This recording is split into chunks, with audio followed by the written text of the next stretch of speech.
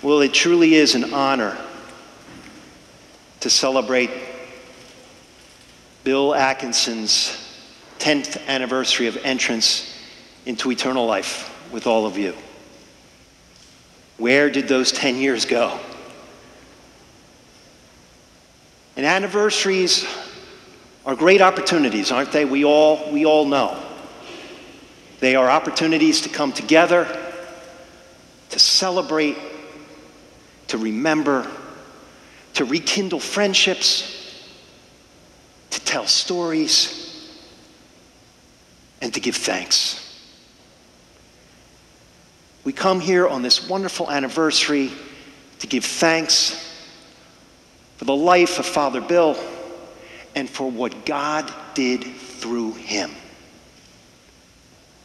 And we'll tell stories.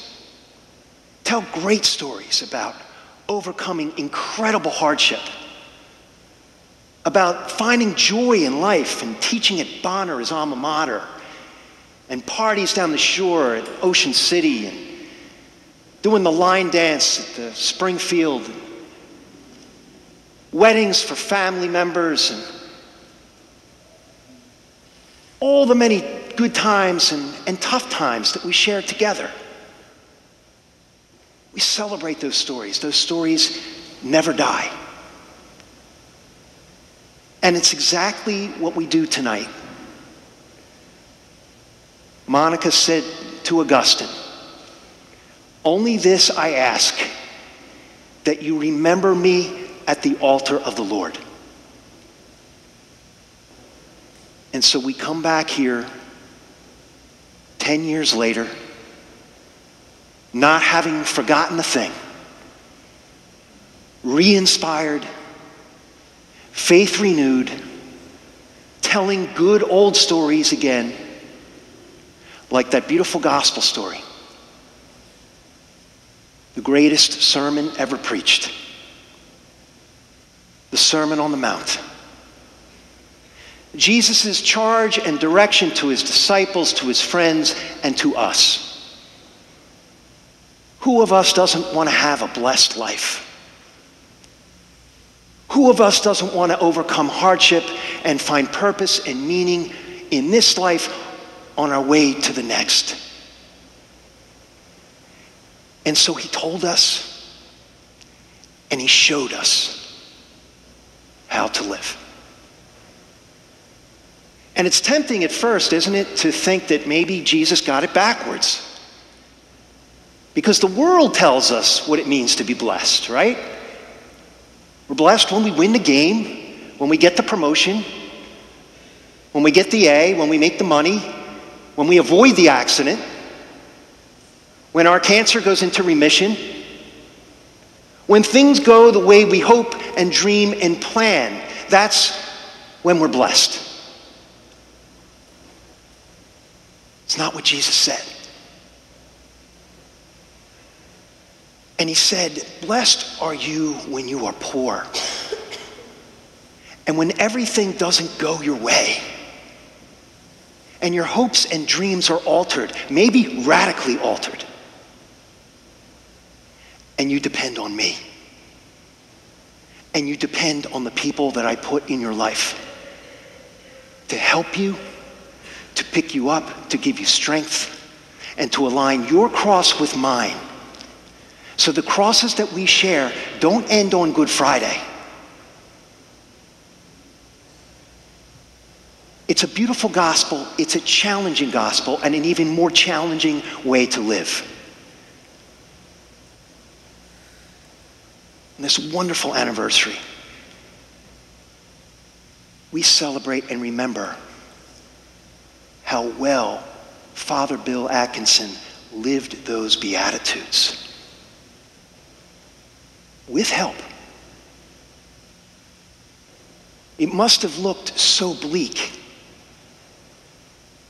for Mr. and Mrs. Atkinson, for my brother Augustinians, for those who didn't know how to make sense of such a tragedy. St. Augustine says, do not judge people by what they appear to be. But rather by what they can be. With the eyes of faith to try to see the potential and the possibility that lies beneath the surface that's not immediately visible in the time in the, in the moment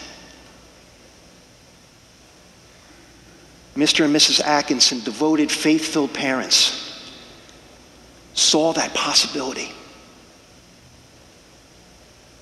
as did the whole atkinson family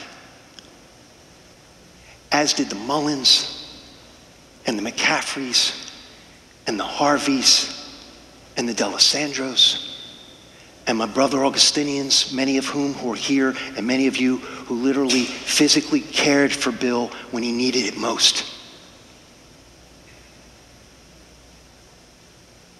Who saw ability when others saw disability. Who saw hope when others saw despair. And Jesus sees this way and you saw this way. And Father Bill Atkinson saw it that way. And we know because he told us, he said that he was blessed. In the face of it all, he still said he was blessed. And more importantly, by the way he lived his life, he showed us how blessed he was and from whom he took his strength. every morning for as long as I knew him. When he woke up, there was a wooden sign on a wall opposite his bed with another quote from St. Augustine. It said, Do what you can, and then pray to God for the power to do what you cannot.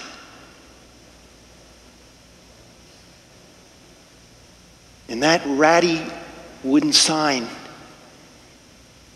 now hangs in the room of a Boston City firefighter who's married with three children who fell through the roof of a burning building and is now quadriplegic, searching for that same strength and faith and inspiration as he carries on in his life. And many of you know better than I the strength that it took to overcome just the daily day bed sores and fevers and infections and poor circulation and surgeries and maybe having to wait three quarters of a day to scratch your head. And he did it. And he made no bones about it, about how he did it. With the strength that he got from his relationship with Jesus Christ and the strength that he got from others. He was quoted in Steve McWilliams' beautiful book, Green Bananas. Every morning at six o'clock, I woke up under the crushing weight of the cross and at 601 god sent me people to help me carry it. And he said and, and, and he lived in such a way that it wasn't just to cope but with your love you gave him hope.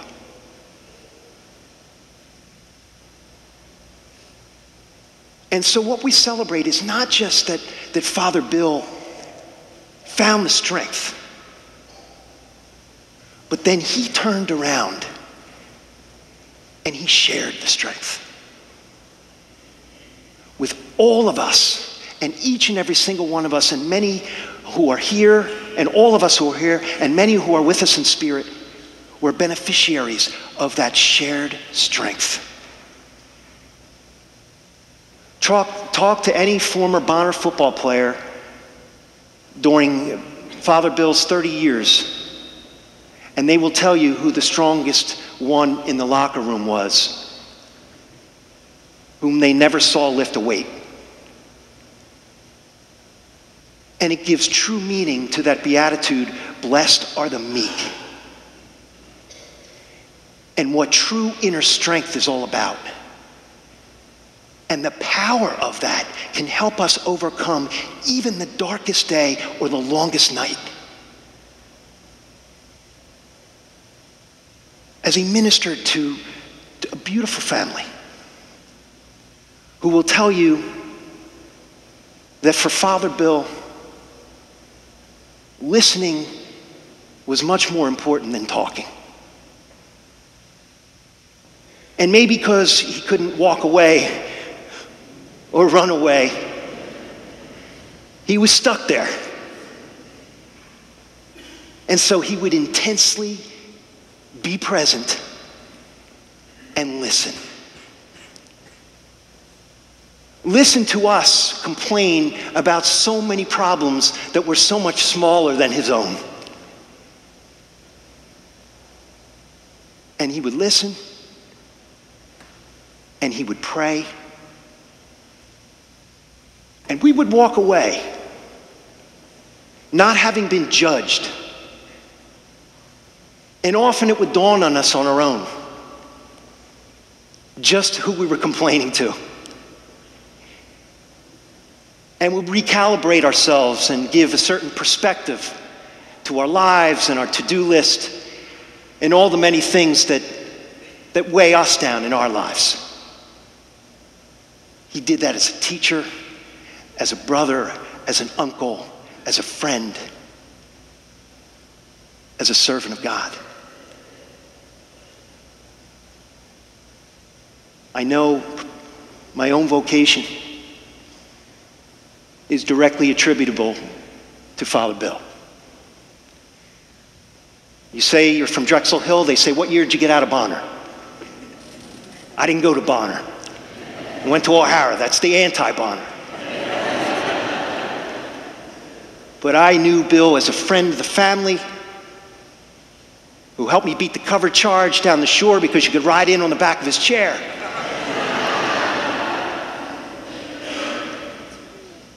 And the next morning after a long night, when maybe you were just looking for a couple of Advil and a club soda,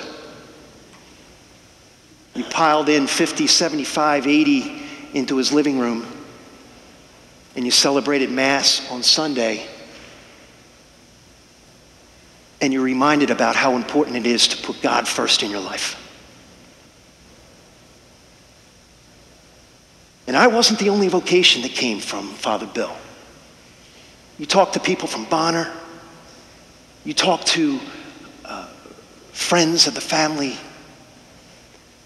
Just three weeks ago, I got a letter from a former Villanova football player who is now a doctor in Pittsburgh. And he said he played football from 1970 to 72 at Villanova when Father Bill, who was post accident in the seminary, used to come to the field before there was the ADA and Americans with Disabilities Act, when there were no ramps and no good parking spots. He used to find his way down to the field who before the accident had been volunteering at St. Edmond's Home for children with disabilities. And Bill, as a seminarian, used to bring these young boys and girls to the games.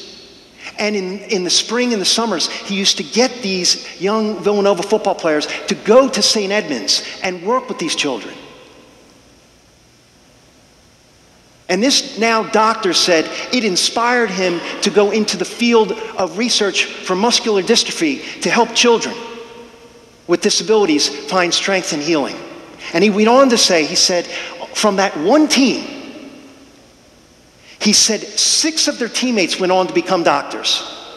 He said, I defy you to find any Division One team that had six aspiring physicians on it because they were touched and inspired by the life and the spirit of Bill Atkinson and his call to service. Other vocations like weddings. I can remember him uh, celebrating the wedding of a good friend. And he'd come up, you know, with a twinkle in his eye, and he said, You know, the only thing, the three things you need for a, a good wedding is a, a beautiful day, a beautiful bride, and a handsome groom. And then he looked at my buddy and he said, Well, two out of three ain't bad. And in an age where priests, you know, get a bad rap sometimes about preaching at weddings because we're the only ones that have pledged our lives not to be married. But he would sit there and talk about commitment and talk about keeping vows and talk about following through what you started and talk about forgiveness and talk about letting the small things go. And you knew you were in the presence of holiness. And you were inspired to take that gospel truth back into your marriage, your job, your everyday life. We could go on the rest of the night. Indeed, servant of God. And 10 years later, a talk of canonization that would literally make Bill blush. And we had a relationship and we had a friendship with Bill, so do we really need him officially canonized? He's up there in the, in the, in the communion of saints. And we can pray to him and find intercession and inspiration and strength from Father Bill. But what about those people who come after us? Who didn't have the opportunity to know or hear about such a special disciple of Christ? I think that's where we are now. The church needs to hold up not just good people, but people who are heroic in virtue.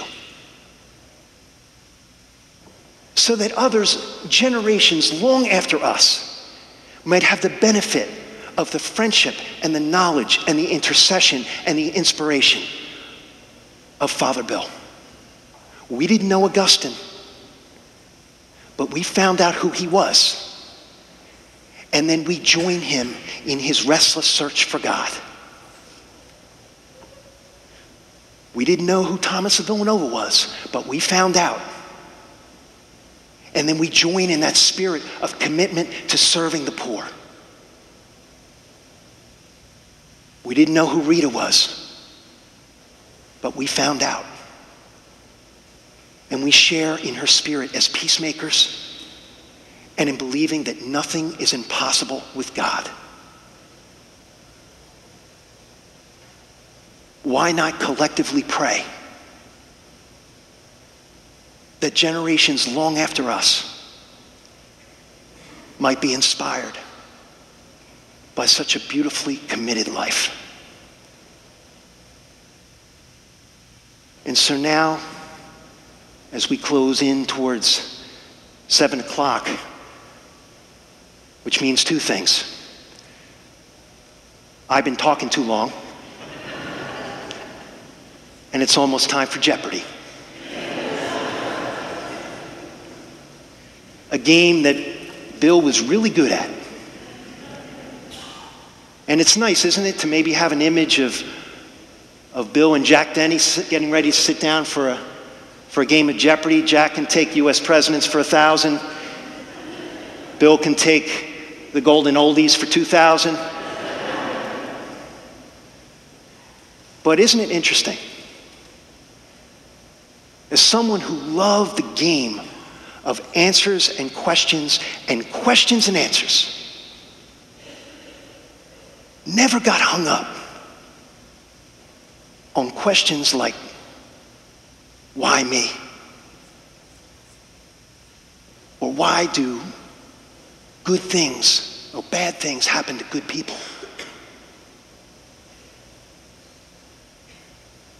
He centered himself on the answers that he got from his prayer, from living the Beatitudes, and following the rule of St. Augustine. And he lived on those answers. The joy that can be found in a life with faith, family, friends, and community. An answer like our humble selves are better than any other version of ourselves we could have. A conviction that when we align our sufferings with the sufferings of Jesus Christ, we rise from the cross. Answers like a call to service, answers like love is a choice, and it's so much better than bitterness and cynicism. May people 50, 100, 150 years from now